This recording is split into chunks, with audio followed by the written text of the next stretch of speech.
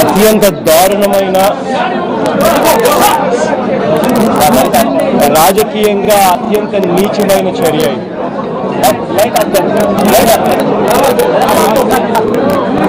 ఒక వ్యక్తిని ఒక ఎక్స్ ఎంపీ ముప్పై ముప్పై సంవత్సరాల సుదీర్ఘ రాజకీయ చరిత్ర కలిగిన సౌమ్యుడిగా పేరు పొందిన ఒక ఎక్స్ ఎంపీని అతి కిరాతకంగా ఇంట్లోకి చొరబడి ఇంట్లో ఎవరు లేని సమయంలో ఇంట్లోకి వచ్చి గొడ్డలు తీసుకొని నరికి అత్యంత దారుణంగా చంపడం అన్నది ఇంతకన్నా దారుణమైన విషయం ఎక్కడా ఉండదు. ఆయన వయసు చూసినా ఆయన రెప్యుటేషన్ చూసినా ఆయనంతటి సౌమ్యుడు ఎవరూ లేరు అన్న మాట ప్రతి నోటా వినిపిస్తుంది. బాధ ఎక్కడ అనిపిస్తుంది అని అంటే ఇన్సిడెంట్ ఇంత తీవ్రంగా జరిగితే దర్యాప్తు చేస్తా ఉన్న తీరును చూస్తే బాధ అనిపిస్తుంది. దర్యాప్తుల నుంచి ఒక లెటర్ చూపించారు. ఆయన చనిపోతూ ఆ లెటర్ రాశాడు అని చెప్పి ఆ లెటర్లో ఒక డ్రైవర్ పేరు పెట్టి ఒక లెటర్ చనిపోతూ రాశాడు అని చెప్పి పోలీస్ అధికారులు లెటర్ కూడా చూపించాడు నేను అడుగుతా ఉన్నాను ఒకటే ఇదే పోలీస్ అధికారులను ఇదే రాష్ట్ర ప్రభుత్వాన్ని అడుగుతా ఉన్నా. ఇదే చంద్రబాబు నాయుడు గారి ప్రభుత్వాన్ని అడుగుతా ఉన్నా. మీరంతటి మీరే అంటున్నారు. చిన్నాలను బెడ్రూమ్లో బెడ్ పక్కన గొడ్డలతో నరకడం జరిగింది. జరిగిన తర్వాత తల మీదే దాదాపుగా ఐదు సార్లు గొడ్డలతో నరికారు.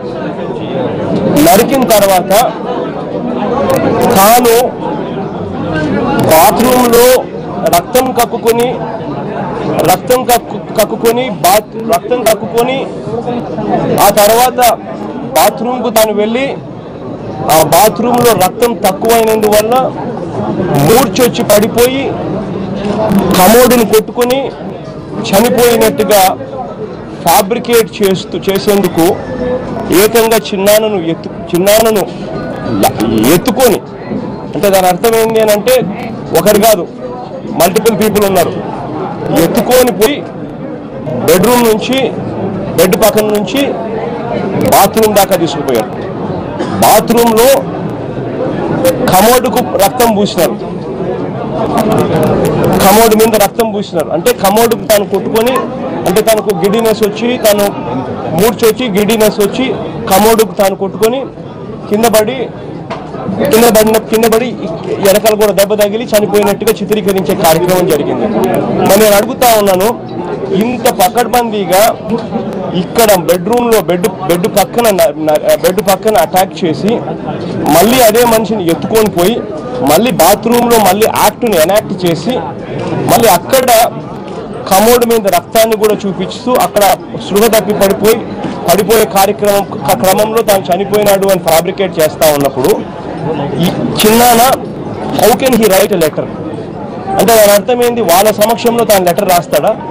తన సమక్షంలో వాళ్ళు రక్తం రక్తంతో కూడిన లెటర్ రాయగలుగుతాడా?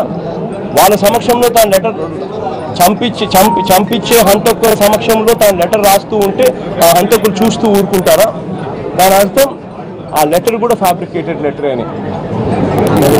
ఒక లెటర్ కూడా ఫ్యాబ్రికేట్ చేసి డ్రైవర్ మీద నెప్- నేరాన్ని నెపం నేరాన్ని నెపం నెడుతూ ఒక డ్రైవర్ మీద నేరాన్ని నెపం లెటర్ కూడా ఫ్యాబ్రికేట్ చేసి పోలీసులు చూపిస్తా ఉన్నారు అని అంటే నిజంగా ఈ ఈ టోటల్ వ్యవహారం అంతా కాన్స్పిరసీ థియరీ నుంచి పక్కకు పోయి ఒక ఎంపీని అన్యాయంగా చంపినారు అన్న పరిస్థితి నుంచి పక్కన పక్కకు పోయి ఒక సౌమ్యుని అన్యాయంగా చంపినారు అన్న అంశం మీద నుంచి పక్కకు పోయి టోటల్గా వేరే పద్ధతిలోకి తీసుకొని పోయే కార్యక్రమం దగ్గరుండి జరుగుతూ ఉంది ఇక్కడ. నేను అందుకనే గట్టిగా డిమాండ్ చేస్తూ ఉన్నాము. వీ వాంట్ సిబిఐ ఎంక్వైరీ ఈ రాష్ట్ర ప్రభుత్వం మీద మాకు అస్సలు నమ్మకమే లేదు. నేను పోలీస్ అధికారులతో డి డిఐజీతోనూ ఎస్పీతోనూ మాట్లాడుతూ ఉండగానే అదే ఎస్పీకి నా కళ్ళ ముందరనే రెండు మూడు సార్లు అడిషనల్ డీజీపీ ఇంటెలిజెన్స్ దగ్గర నుంచి ఫోన్లు కనపడతా ఉంది. Additional DGP additional DG intelligence అని చెప్పి. అంటే ఏబి వెంకటేశ్వరరావు గారి ఫోన్లు.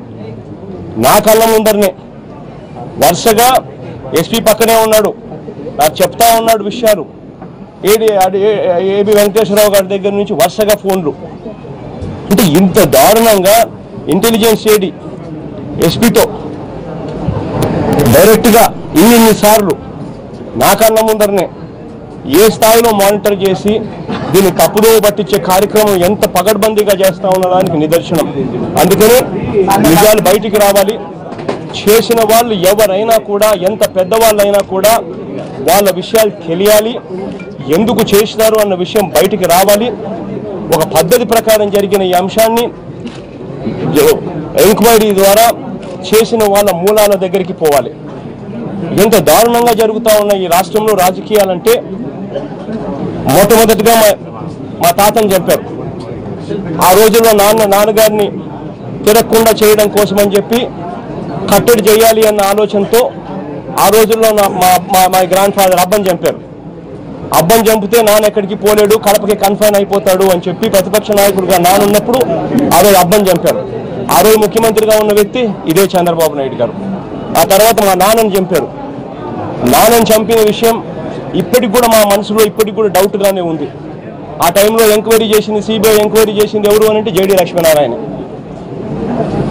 సెప్టెంబర్ రెండో తారీఖున హెలికాప్టర్ క్రాష్ జరిగితే ఆగస్టు ముప్పై ఒకటో తారీఖున అంటే హెలికాప్టర్ క్రాష్ కరెక్ట్గా రెండు మూడు రోజుల ముందర అసెంబ్లీలో చంద్రబాబు నాయుడు గారు అన్న మాటలు నాన్నను ఉద్దేశించి ఇదే అసెంబ్లీకి నువ్వు ఎలా వస్తావో నేను చూస్తాను అని చెప్పి నిండు అసెంబ్లీలో చంద్రబాబు నాయుడు గారు నాన్ను ఛాలెంజ్ చేశాడు. చేస్తే సెప్టెంబర్ ఒకటో తారీఖున ఈనాడులో అదే ఈనాడులో అదే క్లిప్పింగ్ అదే మాటే బయటకు వచ్చింది. హెడ్లైన్స్లో చంద్రబాబు నాయుడు ఛాలెంజ్ అసెంబ్లీకి ఎలా వస్తారని రాజశేఖర రెడ్డి అన్న నానని చంపారు. దాని తర్వాత నన్ను చంపాలని ప్రయత్నం చేశారు. సాక్షాత్తు ఎయిర్పోర్ట్లోనే ఎవరు వెళ్ళలేని ప్రదేశంలోకే ఏకంగా కత్తులను తీసుకొని వచ్చి డైరెక్ట్గా తెలుగుదేశం పార్టీతో సత్సంబంధాలు కలిగిన వ్యక్తి తన మీద ప్రీవియస్లీ క్రిమినల్ కేసులు ఉన్న వ్యక్తి ఈ దాడి చేశాడు. దాన్ని మళ్ళా వెటకారం చేస్తూ వీళ్ళు మాట్లాడతారు. మూడు చోట్ల చూస్తే మూడు చోట్ల ఒకే ఒక వ్యక్తి కనిపిస్తాడు చంద్రబాబు నాయుడు గారు. నాన్నగారు ప్రతిపక్షంలో ఉన్నప్పుడు రాజారెడ్డిగా అబ్బని చంపినప్పుడు చంద్రబాబు నాయుడు. నాన్నగారు హెలికాప్టర్ క్రాష్లో చనిపోయినప్పుడు అసెంబ్లీలో అన్న మాటలు చంద్రబాబు నాయుడు గారే. నా మీద దాడి జరిగినప్పుడు చంద్రబాబు నాయుడు గారే. ముఖ్యమంత్రిగా ఉన్న వ్యక్తి. మళ్ళీ ఇవాళ చిన్నాన్న మీద దాడి జరిగింది. జరిగిన నేపథ్యంలో ముఖ్యమంత్రిగా ఉన్న వ్యక్తి మళ్ళీ చంద్రబాబు నాయుడు గారే. ఎక్కడ చూసినా కూడా కాన్స్పిరసీ థీరీ కనిపిస్తూ ఉంది. చేసింది ఎవరైనా కూడా వాళ్ళ మూలాలు బయటికి రావాలి.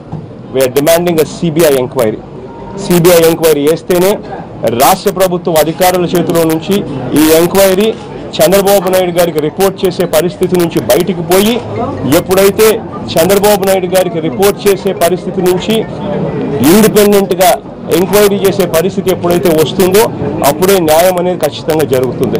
So we're demanding CBI enquiry ఈ సిబిఐ ఎంక్వైరీ కోసం we will represent everybody whomsoever needs to be represented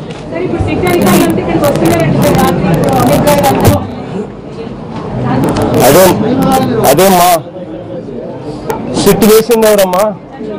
ఆ, సిట్ వేసింది చంద్రబాబు నాయుడు గారని మీరే చెప్తా ఉన్నారు. ఎలా ఉంది అని అంటే దొంగతనం చేసిన వాళ్ళే దొంగ దొంగ అని అంటారు. మర్డర్ హ- హత్య హత్య చేసిన వాళ్ళే వేరే వాళ్ళని హంతకుడు హంతకుడు అనే పరిస్థితిలోకి వ్యవస్థ దిగజారిపోయి వాళ్ళే చేయిస్తారు. వాళ్ళే ఎంక్వైరీ కోసం సిట్టేస్తారు. వాళ్ళ పోలీసు అధికారులు ఇక్కడికి వచ్చి ఎంక్వైరీలు చేస్తారు. ఏ రకంగా న్యాయం జరుగుతుందమ్మా? న్యాయం జరగాలి అని అంటే చంద్రబాబు నాయుడు గారి చేతుల్లో చంద్రబాబు నాయుడు గారికి రిపోర్ట్ చెయ్యని వ్యవస్థతో ఎంక్వైరీ చేయాలి. అప్పుడే న్యాయం జరుగుతుంది. థర్డ్ పార్టీతో ఎంక్వైరీ చేయించాలి. అప్పుడే న్యాయం జరుగుతుంది. ఇది జరగనంత వరకు ఎలా న్యాయం జరుగుతుందమ్మా?